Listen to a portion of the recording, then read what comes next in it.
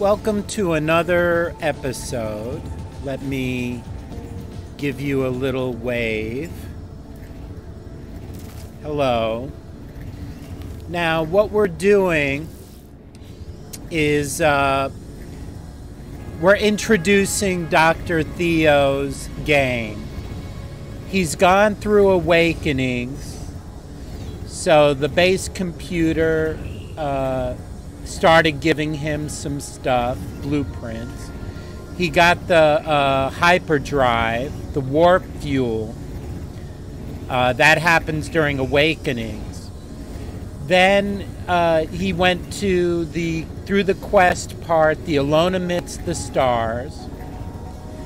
Uh, when you find Artemis's crashed ship, you just get the name Artemis, and that gets you on the anomaly you should certainly get to at least the anomaly.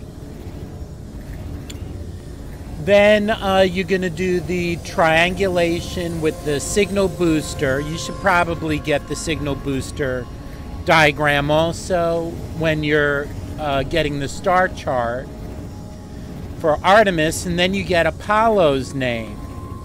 That gets you to Ghost in the Machine. So you go Awakenings, Alone Amidst the Stars, and then Ghost in the Machine, you get to Apollo expanding the base. And that's where I am now. Now,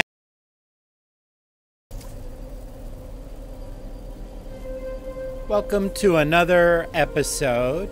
Um, Dr. Theo now, who used to be Traveler Theophilus. What we're going to be doing is getting this uh, Dr. Theo advanced. He's going to work on his base in Galaxy 18. So Salesgek Urger will give me glass, which is a useful uh, base decorating material. Now, um, help me expand. What do you get by doing expanding the base. Now, I recommend you do the base computer archives also. For example, you'll get the first storage unit. But the expanding the base, um, when you get the first guy, he will give you glass. Now, let me see if I could find the diagram for glass. So um, he'll save you the cost of buying glass, the nanites. In, so the next thing that I he will give me is the science terminal.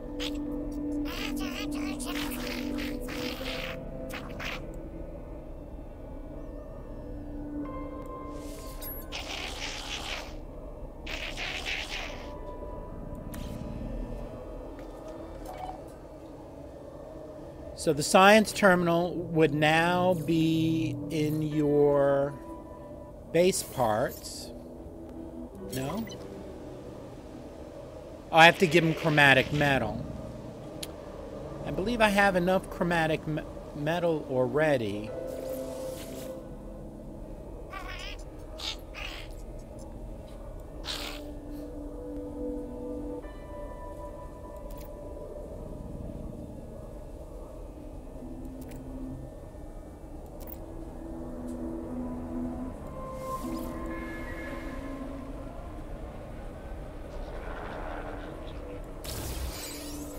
Okay, there's the science terminal, and I can see I have 26 out of 40 chromatic metal. Before uh, you do anything, you'll need to make that terminal. And uh, when we get to the abandoned structure, you won't just get one storage container, you'll get all of them really quickly. It's right at the beginning of the expanding the base. So we're going to do that very soon. This way we can get all 10 storage containers.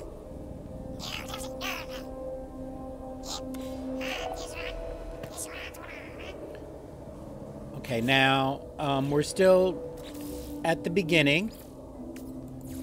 So we have a regular refiner. And we're going to need chromatic metal. So, you know, uh, Traveler Theophilus gave me plenty of copper, so this is no problem. Fact, um, if you do expanding the base, you're going to get a bunch of other of these diagrams. And I will show you, I'm going to show you their cost and, and what you say by doing that. So to get glass, you're going to have to get the, um, the first leader, the Gek supervisor. The Gek supervisor will give you glass. He'll also have you get the scientist. And I. All right, I'm gonna stop it here. We're, we you always need more chromatic metals, so doesn't hurt to make more and keep a spot for that. Um, let's put the science terminal. Now let's stick it over here.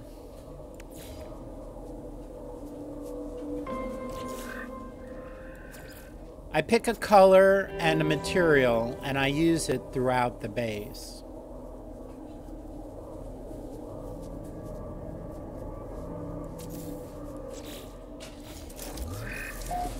I'd like to keep these terminals fairly close together. Right, hire a base scientist. Let's do that quickly. I recommend. Uh, I'm going to do the whole expanding the base and explain what you get for the stuff in the next couple of episodes. So uh, I'll be inserting clips here. Thank you.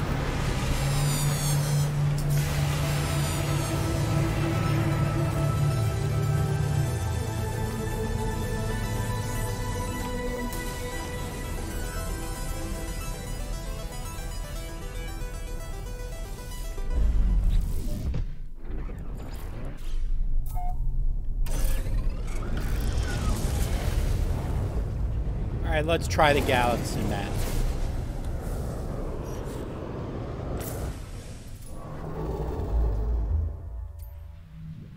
It gives us the science symbol, so that's where we need to go.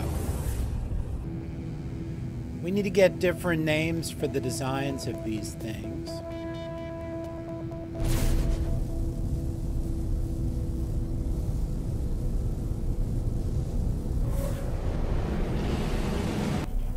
See the Korvax on the wall? And you see the science symbol floating over that guy right there?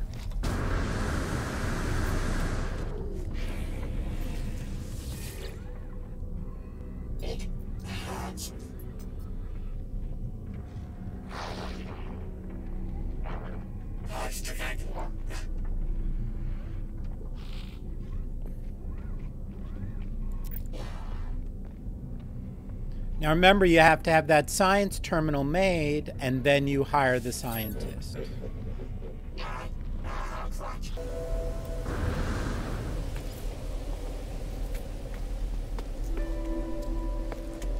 There's the scientist now.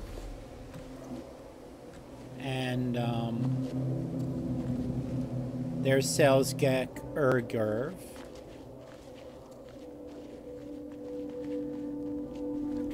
My scientist name's Operator Entity Vidino.